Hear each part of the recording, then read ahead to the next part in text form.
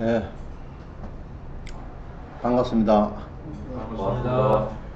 예, 오늘 이제 115기 개강한 날이 되겠습니다. 그래서 어, 9월 9일 오늘부터 이제 오전반이 시작되고요. 내일은 이제 야간반이 되는데 오전반은 월모, 야간반은 화요일, 금요일이 되겠습니다. 그래서 지금 여기 그 화면에 보이는 것처럼 노란 것이 이제 오전반이 되겠습니다. 노란 거. 그 다음에 조금 파란 푸른색이 이제 야간반 되겠고요. 오전반은 이제 11월 18일까지 한 두 달 보름 가정되고 월목이 되고요.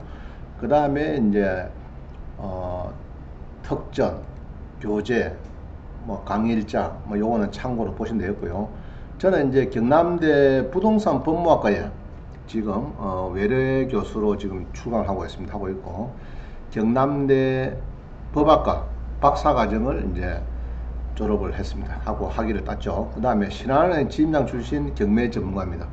그래서 이제 은행에서 어, 본점 여신관리부, 여신관리부에서 한 7년 했고, 지점장 하면서 한 3년 강의를 했고, 그 다음에 퇴직하면서 창신대학교 부동산학과에 한 3년 정도 주간반에 강의했고, 경남대학원 한 7년 정도 지금 강의를 하고 있습니다. 하고 있고, 한국공인세표에 어, 매수 신청 대리 전임 교수를 지금 13년째 지금 하고 있습니다. 그리고 최근 요 빨간 거 어, 세 권을 지금 썼고요. 그 다음에 석박사 논문이 있고 뭐 그건 참고로 보시면 뭐 되겠습니다. 자, 그 다음에 우리 오늘 교재가 자, 그 전교재 받으셨죠? 전교재, 부교재 자 보도록 하겠습니다. 전교재, 부교재. 그래서 여러분들이 이제 목표를 좀 정할 필요가 있을 것 같아요. 그래서 경공매로 매년 1억 이상은 벌어야 되겠다. 그렇게 목표를 잡으시고, 그 다음에 1인당 매월 종전에 500만 했는데 조금 금액이 높은 것 같아가지고 줄였습니다. 300만 원으로. 어, 매달 300만 원 연금 수령 시기를 앞당겨서 경제적으로 조금 자유인이 되겠다. 그것이 이제 좀 목표 되었고요.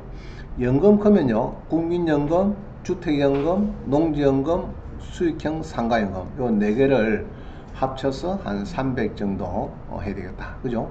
그러려 그러면은 우리 구독시이나 이런 경매 사이트에서 부지런히 검색하고 낙찰을 받아야 그게 가능하지 맨날 그냥 뭐 검색만 되는 거 아니에요. 그래서 부지런히 어, 낙찰을 받으시는데 그거는 이제 검색하고 낙찰을 뭐 어떤 물건을 낙찰받아 수익이 높은지 그거는 이제 다시 설명하도록 하겠습니다.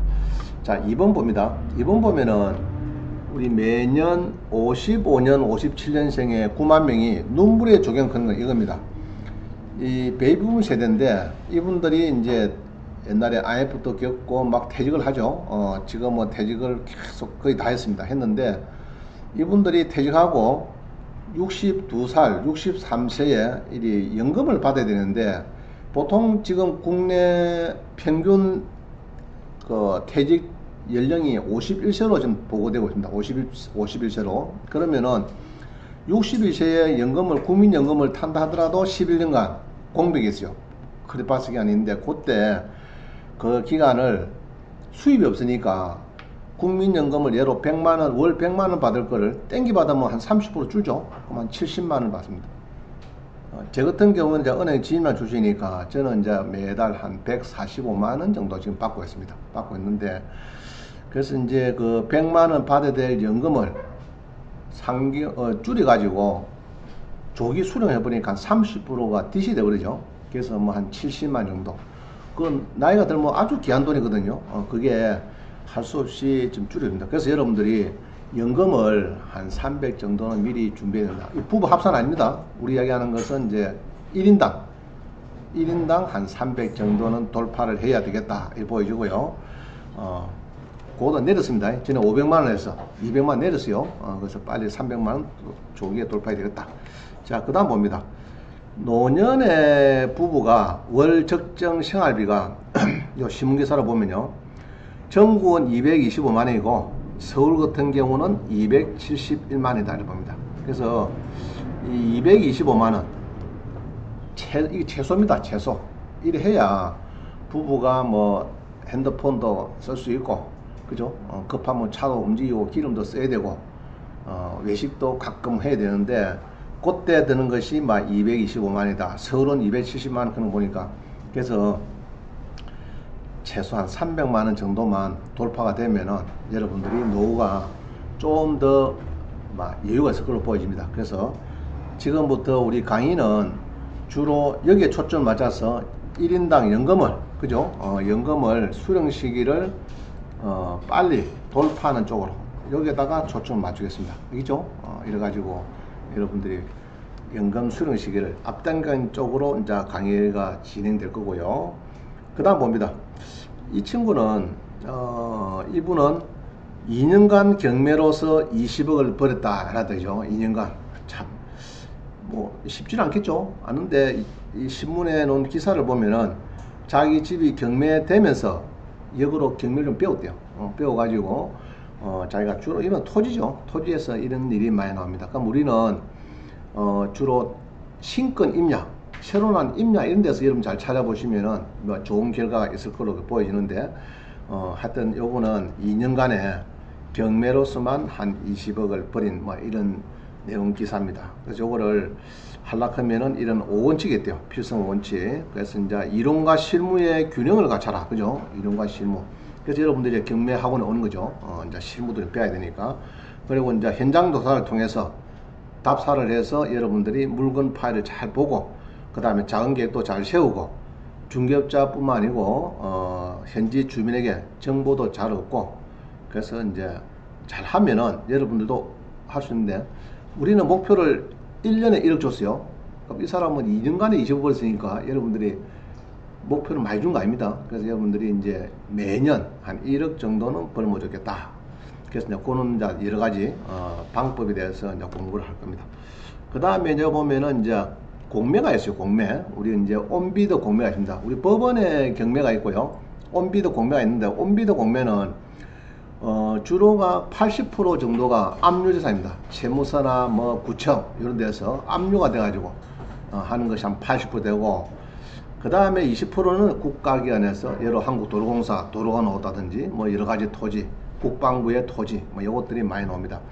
자, 그것도 좋은데 지금은 인기 있는 것은 이 권리금 없는 요겁니다. 보전금이 없는 국공유 재산을 임차하는 방법 이게 참 어, 우리 공매에 임대 대부 물건이 있어요. 국가기관에서 빌리는 겁니다. 보통은 뭐 3년 플러스 3년이니까 한 6년 정도 빌리는데 어, 이제 이런 거예요. 우리 학원 옆에 커피점이 있습니다. 커피점 같은 경우는 이제 예로 보증금이 뭐 5천만 원, 월세가 한 달에 200만 원, 뭐 이런 거죠. 어, 이런 건데, 그러고 시설비, 권리금 시설비가 한 8천 들었다, 뭐 이런 겁니다. 그러니까 5천만 원 보증금하고 권리금 시설비가 8천 들고 1억 3천 들죠. 들고 그 다음에 이제 월세가 한 달씩 후, 뭐 나가 있지만은 우리 국가기관은 주로 권리금이 없어요. 권리금 뭐 5천만 원, 어, 8천만 원 이런 게 없어요. 그러고 전세 보증금 5천만 원 이런 것도 없습니다. 얹고 월세를 이제 선불 보냅니다. 선불로 어, 1년치 선불로 어, 주는데 요것도 1년 단위를 하기 때문에 본인이 뭐 계속 하고 싶으면은 보통 뭐 짧게는 2년, 3년이고 길게는 3년 플러스 3년, 한 6년 정도 할 수 있어요.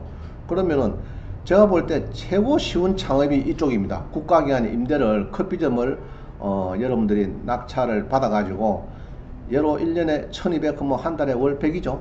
그럼 어차피 월세는 뭐, 어, 한 달씩 선불 내는데 국가기관은 권리금 보증금 대신에 월세를 1년치 선불내도록 그렇게 지금 되어 있습니다. 그래서 국공유 임차하는 방법, 아, 요에 대해서 제가 어, 강조를 많이 할 겁니다. 여러분들이 잘 들으시면 되겠고요. 그 다음에 이제 제가 예전에 어, 집값 떨릴 때 경매 체득해갖고 매일경제에서 옛날에 이게 이제 어, 신안에 합병되기 전이죠. 어, 그때 이제 지점장 때 강의를 할 때입니다. 그때 매일경제에서 했는데 그때 뭐 본점에서 일어났어요. 광고 효과가 한 5천만 원 정도 이 신문에 나온 게 한 5천만 원 정도 효과가 나왔다 이런 이야기입니다. 그래서 집값 떨릴 때 지금 상당히 많이 떨어지고 있죠. 어, 많이 떨어졌고 많이 떨어지고 있습니다. 현재 어, 그래서 강력한 대출 규제 때문에 그래요. 지금 어, 큰 원인이 가계 부채가 우리가 지금 GDP 국민 총생산의 한 97% 달리고 있습니다. 지금 어, 달리고 있고 옛날에 IMF 때가 기업 부채가 GDP 한 10%밖에 안 됐어요. 기업 부채가. 그래 난리 났죠. 우리 건보 계고 했는데 지금은 가계 부채가 GDP 한 97%까지 한 1,500조 지금 돌파해 버리니까 국가에서는 안 되겠다. IMF에서도 걱정하죠. 그래서 이제 가계 부채를 좀 줄여야겠다. 이런 뜻에서 강력한 지금 대출 규제가 지금 하고 있습니다. DSR, 총부채 원리금 상환 비율 이런 거를 막 적용하죠. 어, 그래서 지금 대출 엄청난 강력한 대출이기 때문에 지금 부동산이 지금 상당히 좀 매매가 잘 안 되고 있는 그런 실정입니다. 그래서 이럴수록 여러분들 경매를 배워가지고 어, 좋은 물건들이 지금 바로 우리 보면 한 13,000건이 보이거든요. 어, 그래서 요럴 때 여러분 잘 찾아보시면은 아주 저가로 옛날 IMF 때가 있죠. IMF 때도 부동산이 많이 떨어졌습니다.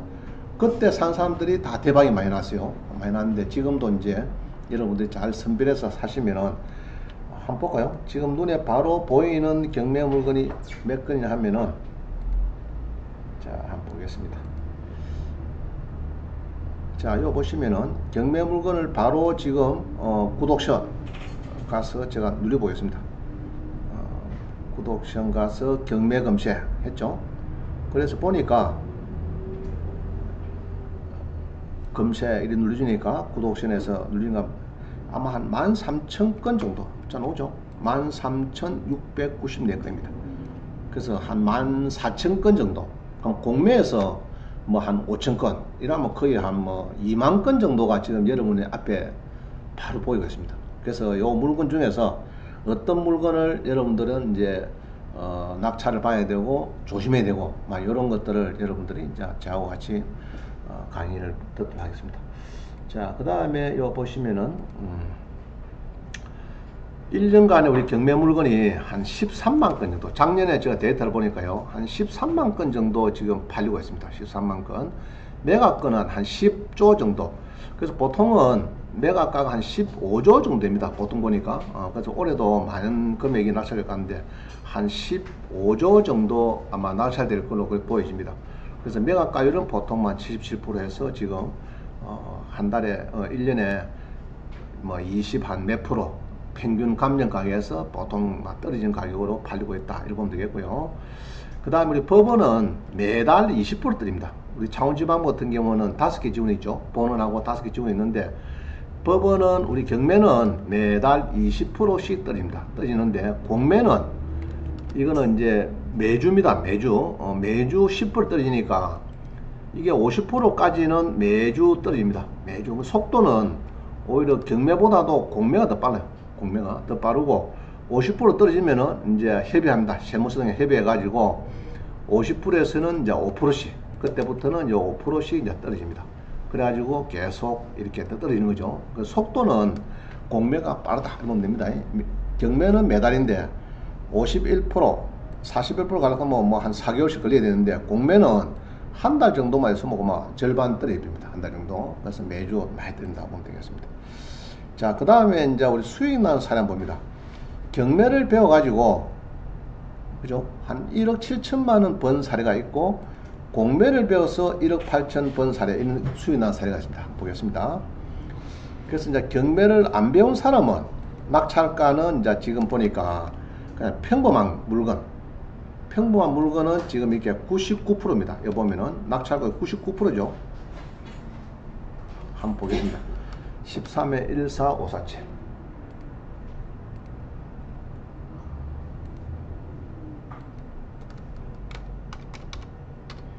자, 평범한 물건은 이렇게 해서 많이 들어옵니다. 별 문제가 없다 이 말이죠. 어, 문제가 없다 그러면 99%였습니다. 99%예요. 여기 보니까 분당의 아름마을인데 전용이 25평입니다. 그죠? 분양은 뭐 한 32평 되겠죠. 34평. 여기 보면은 이게 낙찰가율이 거의 뭐 99%입니다. 99%. 그죠? 그 1차 가격에 버긋하는 어, 이렇게 19명이 들어옵니다. 이거는 평범한 거죠. 주로 어떤 낙하면은 여기 임차인이 천에 150이 있다 이 말이 되죠. 어, 천에 150이 있는데 이런 사람은 이제 주로 건저당보다 조금 넣습니다. 그죠? 건저당보다 어, 뒤에 들어온 임차인 있을 때는 이렇게 됩니다. 이게 전입이 넣었죠 지금 어, 전입자가 좀 넣습니다 그럼 이럴 때는 평범한 거니까 이런 거는 이제 99% 그죠 2차에서 19명이 붙어서 90으로 팔립니다 자, 그런데 건전항 1번 건전항 설정일자보다 빠르면은 어떤 결과가 나오냐? 자, 한번 보겠습니다. 빠르면은 이게 또 이제 문제가 있어요. 빠르면은 어, 이렇게 되지 않고요. 자, 아까 우리 보니까 사건 번호가 어떻게 되죠? 사건 번호가 12에 1.3호입니다. 자, 좀 빠른 거, 그죠? 날짜가 설정보다 빠르다. 1번 건지당보다 2010, 잠깐만, 자, 봅니다.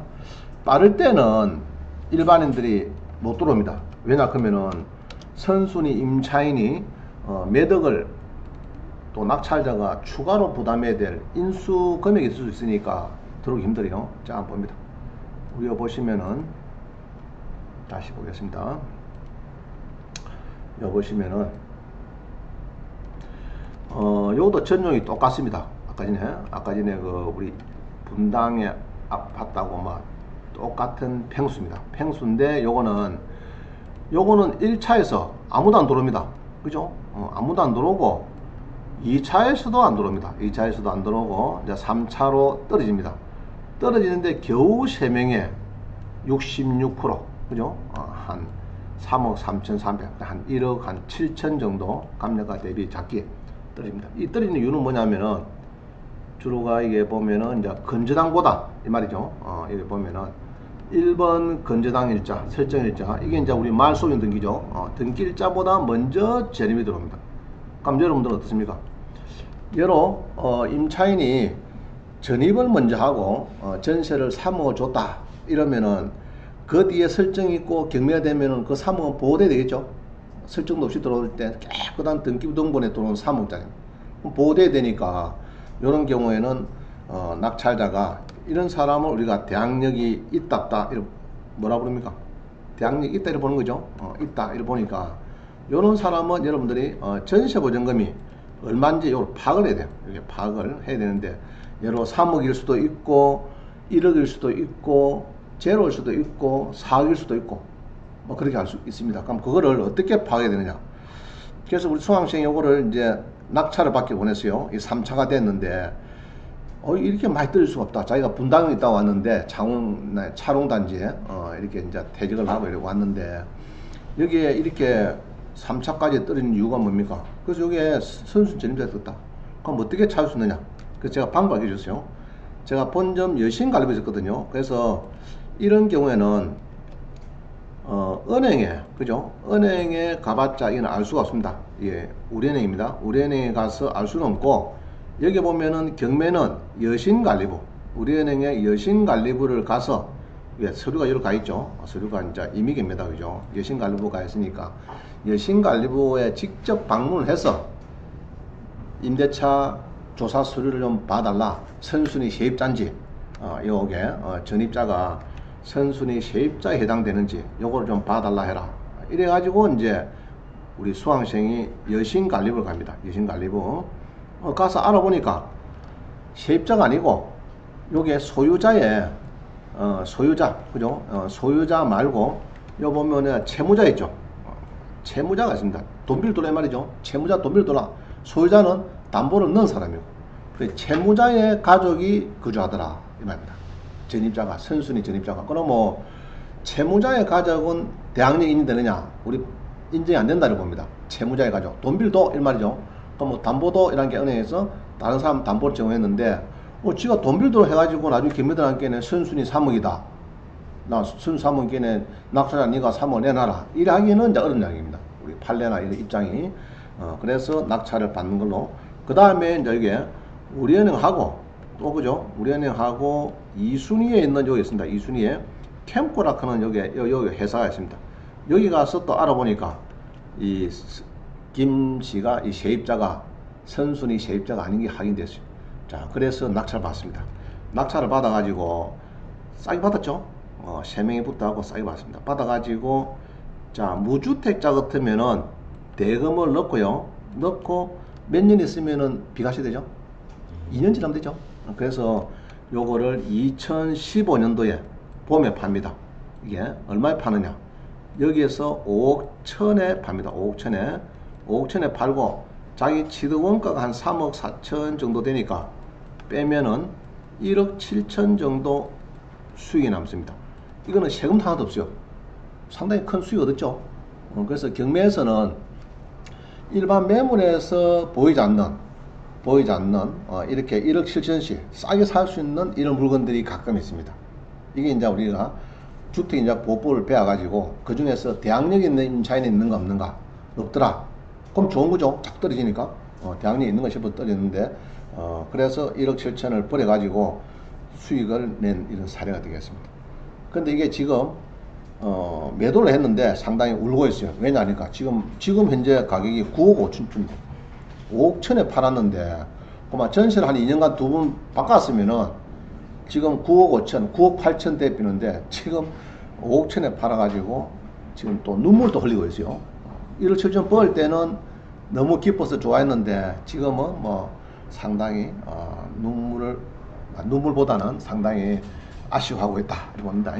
그래도 1억 7천 벌었으니까 그죠? 어, 우리 학원 와가지고 경매 배워가지고 어, 임대차 보호법, 주택임대 보호법의 대항력을 배워가지고 대항력 없는 선순위 전입자다 이렇게 확인이 돼가지고 뭐큰 수익을 낸 사례가 되겠습니다. 그러니까 여러분들도 이제 잘 보시면은 이렇게 어, 임대차 보호법을 배워서 선순위 전입자가 있는데 이런 경우 잘 떨어집니다. 어, 선순위 전입자가 이게 1번 건전함 일자보다 빠른 사람 쓸 때는 잘 찾아보셔야 됩니다. 이 미상이 어, 주로는 이제 은행 가야 되겠죠. 은행 가서 찾아보면은 거의 정확합니다. 대부분. 근데 전화하시면은 잘 안 했죠. 전화하면은 아이고 죄송합니다. 사생활 보호, 뭐 개인정보 보호 이래가지고 전화를 끊습니다. 다 끊어버립니다. 그래서 당시 방문을 해서 물어봐야 정확한 답을 주지. 그 차원에서 뭐 서울까지 가니까 그죠? 은행 우리 은행 유신관리부 본역까지 가니까 이렇게 줄 수밖에 없을 겁니다. 그래서 혼자 좋은 결과가 있었다 봅니다. 그래서 이렇게 하려고 하면은 결국은 이제 경매를 좀 배워야 된다 그죠? 배워야 일을 철전 싸게 사는 이런 물건이 나오지. 자, 그 다음에 또 보겠습니다. 그 다음에 우리 정교재에 보니까 그 다음에는 이제 음, 그래서 여기 보다시피 99%에 팔린 거는 평범한 물건, 그죠? 어, 물건이고 67%에 팔린 것은 요거는 선순위 전입자가 있더라 있는데 사실은 선순위 전입자가 아니다 이 말이죠. 어, 그런 경우가 되겠습니다. 자, 그 다음 봅니다. 공매를 또 배워가지고 한 1억 8천 수익 난 사례가 있습니다. 요거는 이제 가스공사 사택입니다. 어, 사택이 공매에 나왔어요. 나와가지고 요거를 이제 적정하게 낙찰 받았습니다. 받았는데 전세를 갈까 그냥 어, 한 1억 5천 정도 전세를 갈까 안 그러면 대출을 일반 1억 정도 어, 추가 대출을 받더라도 낙찰을 받아서 어, 소유자로 바꿀까 어, 들어갈까 이렇게 고민하다가 결국 어, 공매를 낙찰 받습니다. 받아서 어, 대출 한 1억을 어, 받고요. 어, 그래서 이제 낙찰을 받고 잔금을 치렀는데 여기 이제 현재 한 4억 한 4천, 4억 5천 되니까 거의 뭐 한 2억 정도 막 가까이 어, 수익이 난 그런 사례입니다. 그래서 전세로 있는 것보다는 어, 보통은 어, 상승기에는 경매나 공매나 낙찰을 받아서 여러분들이 대출을 이용해서 어, 낙찰을 받고 거기에서 어, 수익이 나는 사례가 그런 게 많이 있습니다. 그래서 공매 사택, 그죠? 공매에서 사택을 낙찰받습니다. 그죠? 어, 이런 건 명도도 쉽죠. 어, 가스공사 사택 이런 거는 보러 가면 다 보여줍니다. 안에 내부 시설을 그냥 다 사람도 비어 있으니까 보여줬죠. 어, 낙찰 받아가지고 지금 한 4억 한 5천 정도 되고 있으니까 한 2억 가까이 뭐 오른 사례가 되겠습니다. 그래서 이제 세입자로 있는 것보다는 막 부동산을 어, 아파트나 좋은 위치 좋은데 낙찰을 받아서 여러분들이 소유자로 있다가 어, 수익을 많이 내는 사례가 공매를 배워서 난 사례가 되겠습니다. 그래서 이제 위에 사례는 대학력 배워서 밑에는 공매를 배워서 막 1억 한 7, 8천씩 막 버린 사례가 되겠습니다. 그래서 여러분들이 봉급제 해보세요. 봉급 시간 하면은 연봉이 얼마 될까 보통? 막 6천 벌다 6천. 1년에 6천이다 그러면은 연말에 주판 다 보면은 수입은 6천이고 지출 얼마입니까? 7천이죠. 그럼 결국 마이너스 통장이 천만이 발생되어 있어요. 대부분 그렇습니다. 이 수익 내기 쉽지 않은데 우리 경매 배워서 요 7번은 1억 7천만 원 정도 수익 내고 그 다음 밑에는 공매를 배워서 한 1억 8천만 원 수익 난 사례 이런 게 보입니다. 그죠? 그래서 공매를 좀 배워야 되겠다 이렇게 봅니다.